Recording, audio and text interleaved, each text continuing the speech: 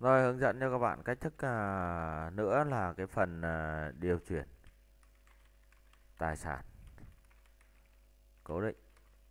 Cái điều chuyển tài sản cố định nó liên quan đến phòng ban hay còn gọi là bộ phận sử dụng.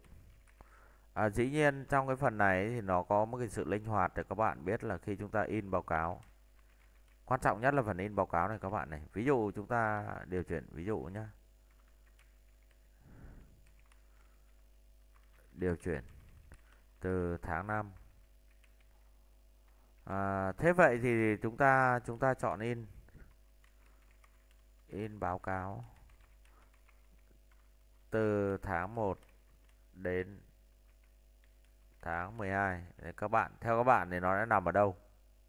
Theo các bạn thì nó sẽ điều chuyển ví dụ điều chuyển từ phòng 1 sang phòng 2 thì từ tháng 5 điều chuyển thì các bạn mà chọn in báo cáo chọn in cả năm thì cái tài sản đấy nó nằm ở phần nào? Đấy, các bạn có thể xem trong cái báo cáo các bạn biết nha cái báo cáo này này cái báo cáo à, bảng cáo tài sản cố định. Thế thì để chắc ăn này thì các bạn in như thế thì các bạn cứ in thôi nhưng mà nhiều cái vấn đề là khi điều chuyển rồi ấy, thì nó chỉ nằm ở một vị trí thôi nhưng nếu mà chọn cả năm mà nó nằm hai vị trí thì rõ ràng tất cả cái thông tin như là cái nguyên giá thì nó cứ cộng gấp đôi vì cái tài sản này nó nằm hai chỗ mà đúng không? Thế nên là các bạn lưu ý là cái thời điểm tức là cái thời điểm bắt đầu từ tháng này thì nó nằm ở đâu?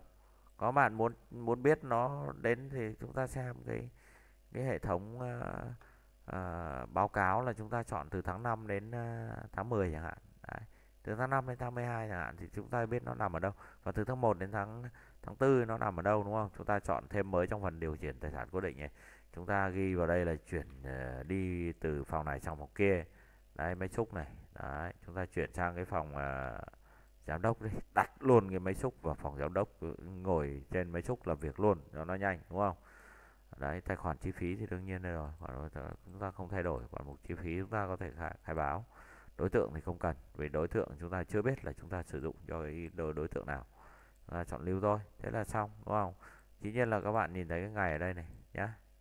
Ngày ở đây ví dụ chúng ta là ngày 0105 đấy ờ, các bạn chọn lưu là xong.